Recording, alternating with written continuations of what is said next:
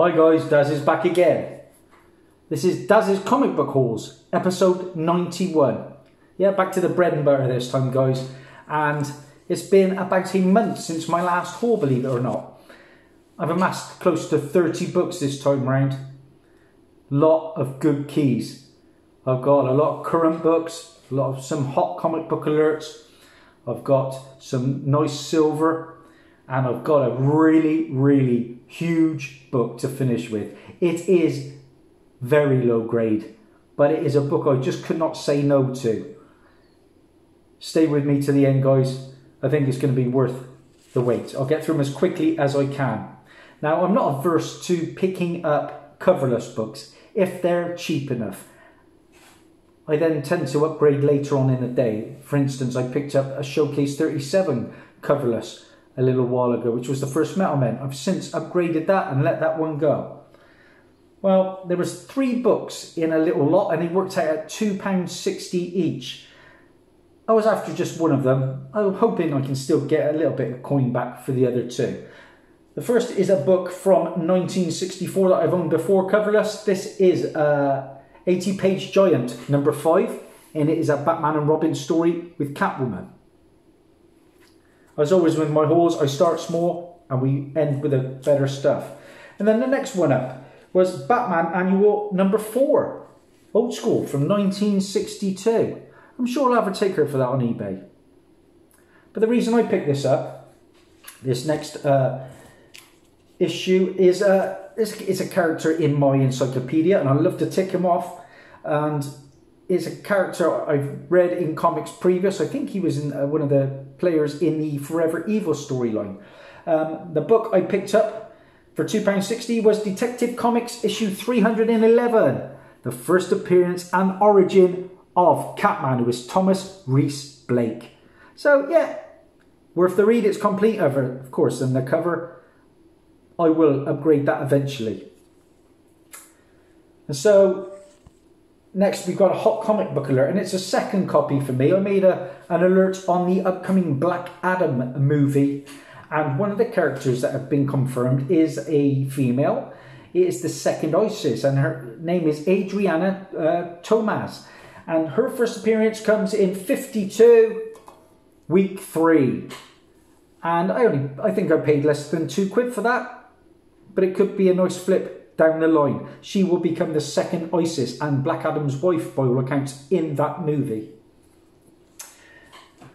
I love my live action first appearances, and here's one that a lot of you will probably be unfamiliar with, and it is from the Flash TV show. We've had the Weather Wizard, and now, most recently, we've had the Weather Witch, and she first appears in Gotham Underground issue number three. Yeah the first appearance of the Weather Witch, and uh, she was in the Flash show, of course, then in the Crisis uh, Legends episode, uh, the crossover. Also, the first appearance of Johnny Stitches in that. But the Weather Witch, I believe, is the daughter of the Weather Wizard. Sticking with DC uh, live action shows, and one of my favourites is The Titans. Of course, we've had two good seasons under our belt, and the third season I made a hot comic book about a character that is going to be coming into the season, and that, by all accounts, is a character called Danny Chase, and he is a a character that then goes on to become another character, and Danny Chase becomes the Phantasm. In this issue, guys. The new Titans issue 73, the Phantasm. Here he is. And uh, it's also the first cameo appearance of Panther, who is Rosabel Mendez. So look out for that. It's a cheap book. I paid less than three quid for that.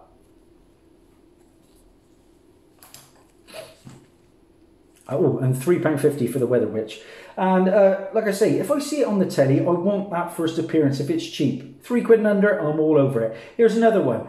This is a character that I saw in the Marvel Rising animated uh, show, and I think there was a movie too and it is Iron Man. It is issue 20.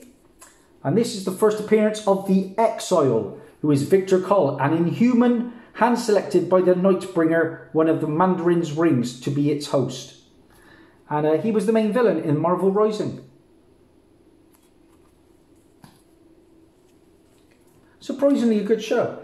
And then, of course, I've got Disney Plus of late, and i am going to go back and I'm going to watch Agents of S.H.I.E.L.D. eventually. Now, it was a tough watch. It wasn't enough action for me. It was slow paced, it was character driven. Obviously, they didn't have the budget of the movies, but I've got to give it a go, haven't I? And so I've started tracking down cheap Agents of S.H.I.E.L.D. first appearances. And here's one uh, in Invincible Iron Man, issue 8. And this is the first appearance of Victoria Hand, an agent of S.H.I.E.L.D who also worked for Norman Osborn's Hammer. Again, like I said, she was in the Agents of S.H.I.E.L.D. TV show. A couple of other minor firsts in that one. And then one of the main characters of the, of the later seasons was a Inhuman, and uh, that came in, in Inhuman Annual number one, the first appearance of Raina. And she, uh, she had like spikes coming out of her. So that was uh, one of the Inhumans from Agents of S.H.I.E.L.D. Again, all less than three quid for these books. And then this one is surprisingly undervalued. This is S.H.I.E.L.D. issue number one. Paid £2.94 for that, and that is the first appearance in comics of Agent Melinda May, of course, from uh, the Agents of S.H.I.E.L.D. and S.H.I.E.L.D. Uh, Slingshot TV shows, Leo Fitz, and Agent Jemma Simmons. All three of those in the Agents of S.H.I.E.L.D. And then sticking with the Agents of S.H.I.E.L.D., now I picked this book up because there's a character who's a bit of a mainstay from about season four or five of the Agents of S.H.I.E.L.D. And uh, little did I know that there was a major, major MCU villain in this book, first appearance. So it was bang for my buck. I paid £3.20 and this book is so undervalued. This is a like prestige format actually. This is Nick Fury versus Shield, almost like a graphic novel, and it is book three of six. Now, how many of know of you uh, you know of this? This is uh, the first appearance of Alexander Goodwin Pierce. Now you're going to say, who is that?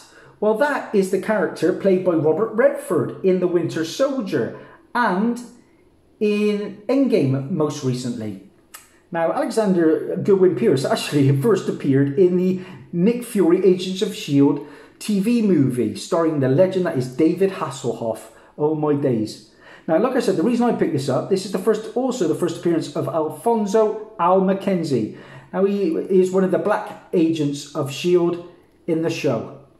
So, uh, yeah, one of the main players. Good actor. Sticking with Agents of S.H.I.E.L.D. and recently we've had a, a lot of talk about uh, there's a Secret Warriors show coming by all accounts, and one of the characters from the Secret Warriors is in this book. It just arrived yesterday. Actually, I paid five pound thirty seven for this, but it's it's fine condition. This is Secret War, book two of five. Of course, this is the first appearance of Quake, Daisy Johnson, also known as Skye in the Agents of S.H.I.E.L.D. TV show. But like I said, um, there's a bit of buzz about Quake at the moment. They're thinking that she's going to be used again in the MCU. So, uh, an undervalued book for me. The artwork in it is absolutely fantastic. And then I've been watching some of the animated shows too, guys. And one I've really got into is Hulk Agents of Smash. If you guys haven't given that a try, you've got to. The Red Hulk, uh, General Thaddeus Ross, is a fantastic character. And uh, he is played by the villain who is uh, the villain in the first Highlander film. And I can't think of his name. But um, great actor. He was in Shawshank Redemption as well. One of my favourite animated characters is the Red Hulk in that show. But in that show, they introduce this. This is uh, what we got here. Nick Fury's Howling Commandos. And this is the first appearance of Nick Fury's Howling Commandos that appear in that Agents of S.H.I.E.L.D. Uh, we've got the first appearance of Warwolf, who is Vic Marcus, and Frank, the clone of Frankenstein. And the team also consists of Vampire by Night, Living Mummy, Clay Quatermain, uh, Zombie. So uh, a good team. And there is a, I think there's a Halloween movie involving that team as well, with the Hulk from Agents of Smash.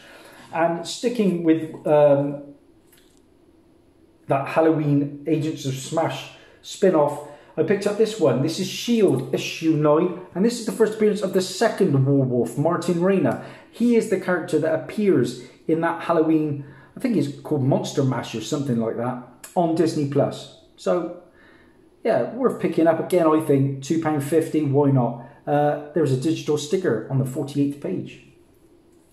And then, like I say, Agents of S.H.I.E.L.D., I love it. And I want the first appearance of A-Bomb. That's going to be on my radar. But I did manage to pick up this one, and I think the seller wanted 12. I think I offered 8, and he accepted. So I got What If featuring Planet Hulk number one. And this, guys, for those of you that don't know, is the first appearance of Skaar, Skaar Banner, son of the Hulk and Caiera as a baby. So this is Skaar's first appearance, and he's another fun, fun character and Hulk Agents of Smash. Now, I've been reading as well that the She Hulk live action show is apparently going to be introducing more than uh, just the She Hulk and uh, the normal Hulk. A-Bomb's being talked up, Skaar is being talked up, so don't sleep on those Hulk uh, first appearances. And then we're on to the second pile of books. And uh, again, uh, Marvel, we talked, I made a hot comic book alert on this might have overpaid for this, £6.25. But uh, the director, is it uh, Waititi, uh, of the next Thor film, uh, Love and Thunder, he was on a, a, whether it was a podcast or something like that, and he said that this is going to happen in that film. So I jumped on board. The book Uncanny X-Men issue 162. This is the first appearance of the Star Sharks, aka Space Sharks. Okay?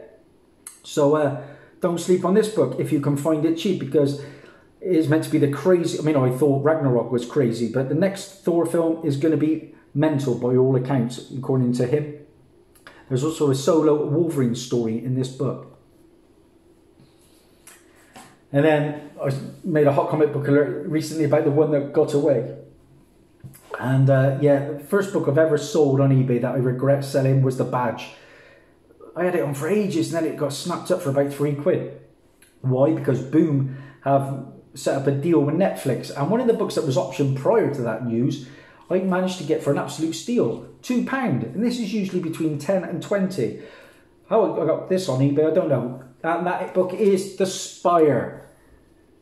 This is basically as the new Baroness of the Spire is about to be sworn in, a string of grisly murders occurs, prompting the commander of the City Watch to quickly bring the killer to justice.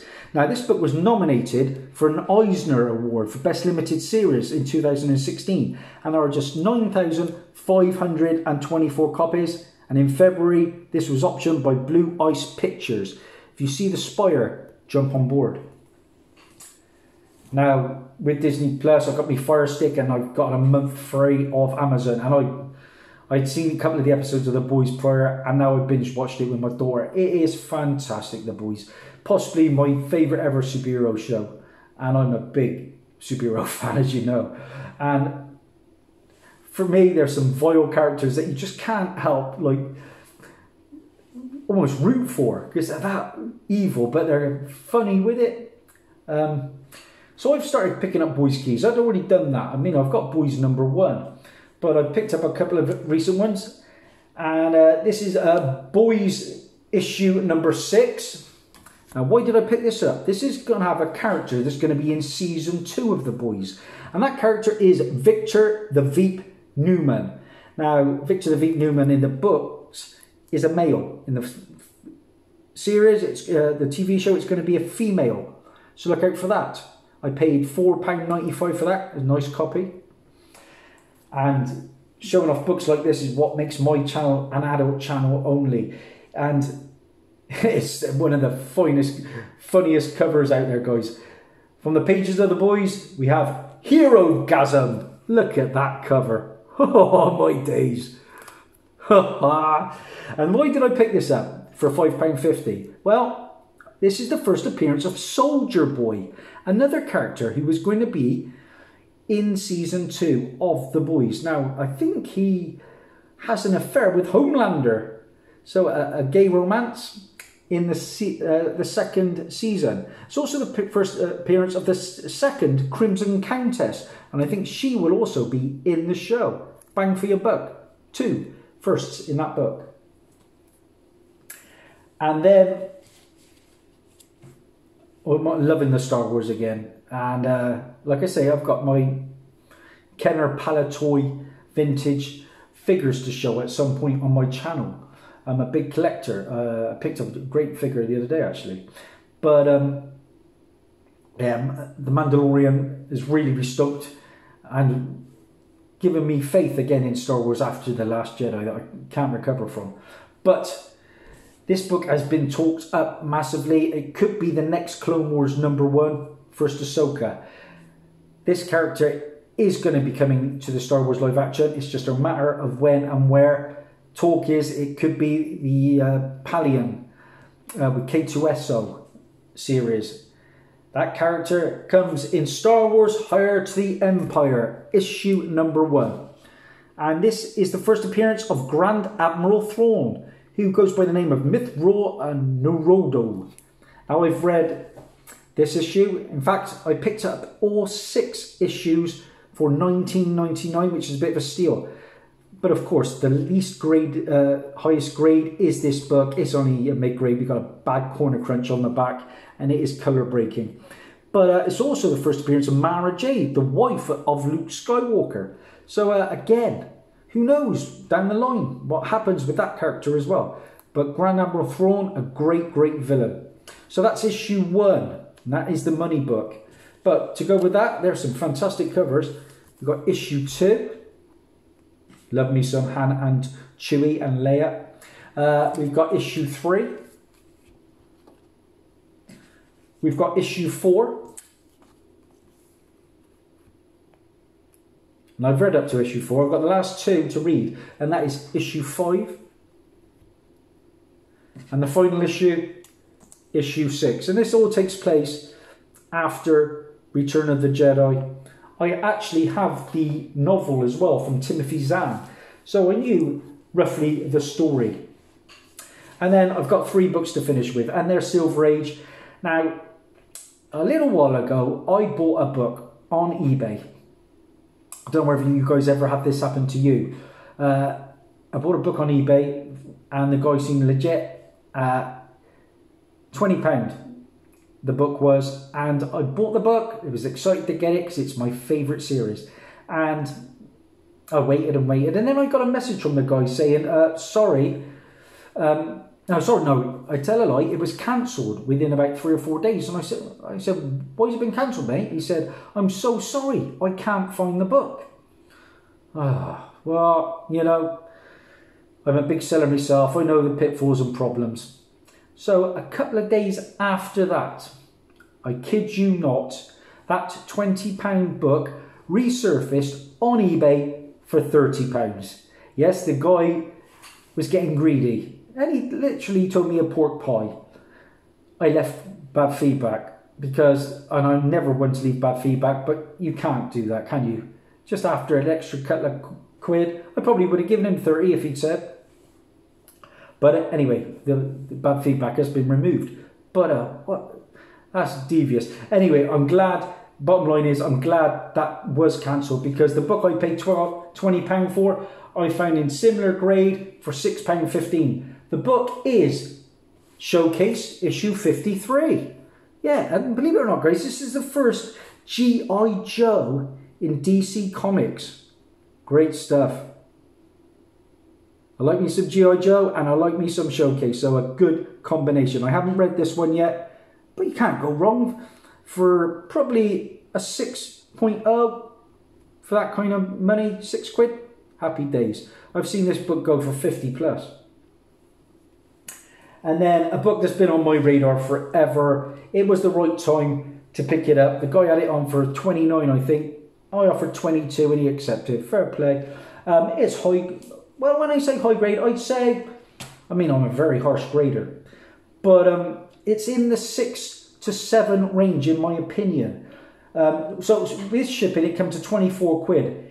It was a character that I enjoyed in the MCU. He was a, a one and done villain, but he was a good villain. The book, Avengers issue 59, and it's a sweet looking co- cover uh, copy, guys. The first appearance of Yellow Jacket. Now, Yellow Jacket, the villain in the MCU, was play uh, was Daniel Cross, I believe. But a Yellow Jacket in this issue is by Hen- Henry Hank Jonathan Pym, of course, formerly Goliath.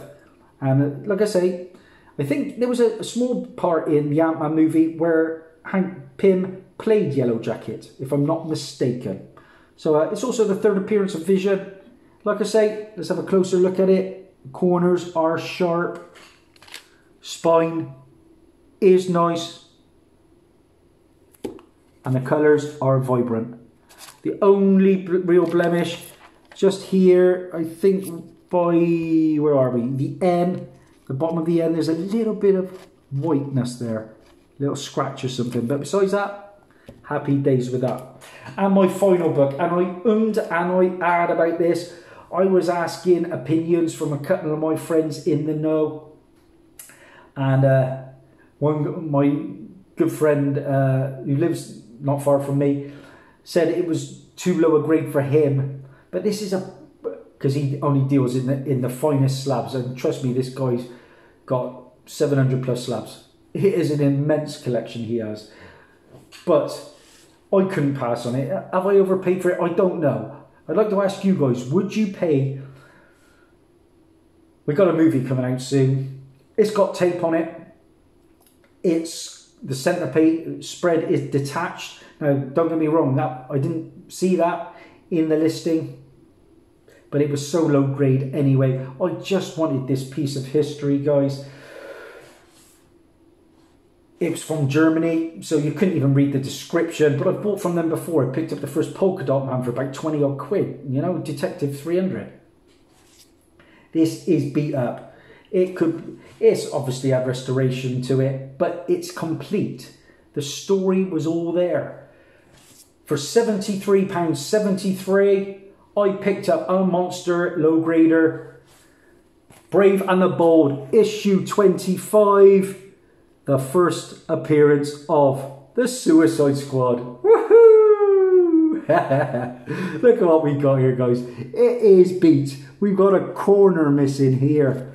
We've got a bit missing there. We've got tape all down the spine. But the guy who did repair this, he's got, he is a master with tape, I tell you.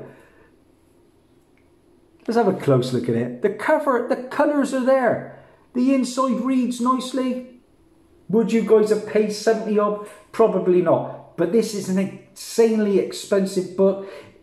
2.0s are going for 300 plus, And I'm not about to drop that sort of money on this book. It's a book I never thought I would own. And when the Suicide Squad movie comes out, I still think I could flip it for probably 20, 30 quid more than I paid.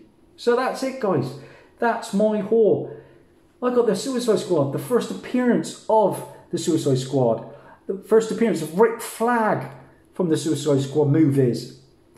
And also in, also in that team was Jess Bright, Karin Grace, and Hugh Evans. It's a fun read. It's an insane read. Simplistic, but I enjoyed it. And I can't wait for that new Gunn Suicide Squad movie. My sponsors today, we've got Hawkman and Aquaman. That's a wrap. I am at a world record 816 subscribers. If you like what you see, please subscribe. Give me the thumbs up. It really helps my channel because you know me, I'm very busy in the community. Bye for now. Stay safe, everyone.